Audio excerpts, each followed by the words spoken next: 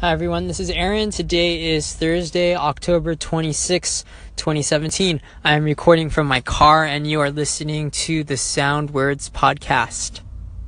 This week I've been talking about my top five favorite alternative bands. Today I will be talking about the band Relient K.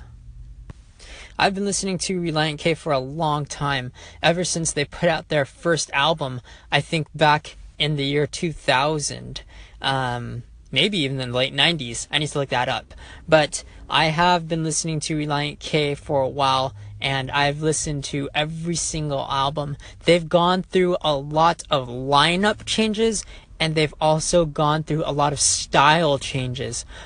Normally, they play pop punk music. That's what they're known for. But recently, their newer albums lean more towards a pop rock sound.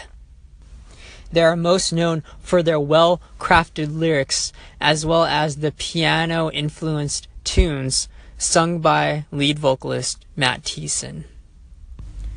Interestingly, they are now a two piece band made up of Matt Thiessen and Matt Hoopes. They have a rotating lineup of touring musicians as well as studio musicians. While their album mm-hmm, is a quintessential pop punk record, I would most likely recommend you listening to the albums Forget and Not Slow Down, as well as their most recent album, Air for Free. Thanks for listening to the Sound Words podcast.